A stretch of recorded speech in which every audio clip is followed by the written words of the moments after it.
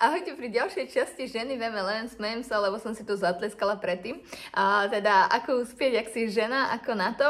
A, takže dneska sa budeme baviť o tom, o energii, o tom proste byť v energii, byť v emócii, byť v nálade. To priťahuje ľudí, to milujú, to miluje network, to miluje toto povolanie, tento biznis. Ale samozrejme, není to o tom byť šialený, premotivovaný, chorý, pretože a, Jim Ron vraví, že ak namotivujete blbca, čo budete mať? No len väčšieho blbca.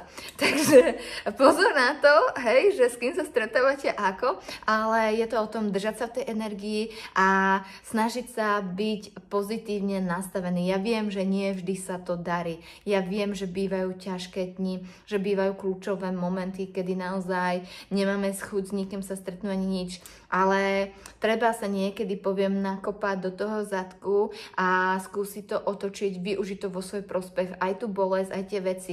Ja viem, že keď sa s nami niekto rozíde, vieme aj rok byť v depresii a plakať, ale vravím, plačte na etapy, to znamená ráno poplačte, potom sa namalujte, buďte hviezda na dve hodiny, spravte meetingy, veci a potom zase môžete ísť plakať, hej. Ale neplačte celý deň, to vám rozbije celý deň a máte celý deň na hovno, nič nevykonáte.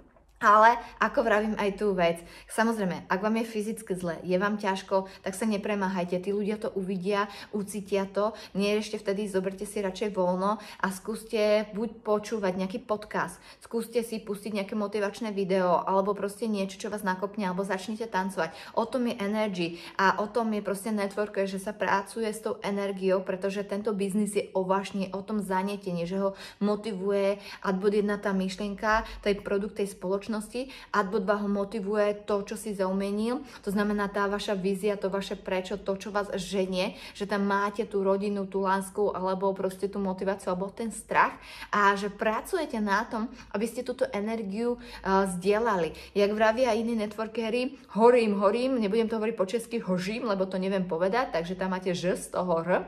A pointa je teda tá, zapalovať, zapalovať, zapalovať a pomáhať horieť iným. Ale to môžete len vtedy, keď vy horíte.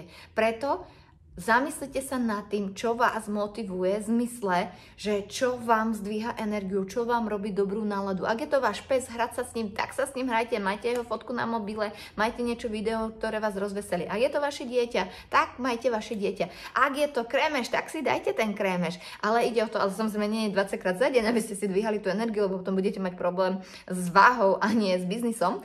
A to je to dôležité. Preto, vráťme sa k pointe ak horíte, horia ľudia okolo vás, horí váš biznis, ale v tom pozitívnom slova duchu. Ako na tom pracovať? Pracujte s emóciami, pracujte s energiou, vzdelávajte, načerpávajte, ale samozrejme nenúďte sa do niečoho, keď vám to momentálne nejde. Ale možno skúste ukázať tú svoju slabosť a zavolať tomu svojmu lídrovi, alebo sa s ním poradiť, keď vám niečo nejde, prečo vám nejde, ako by ste si mohli zdvihnúť tú energiu, ako to robí on, alebo ako to robíte v týme.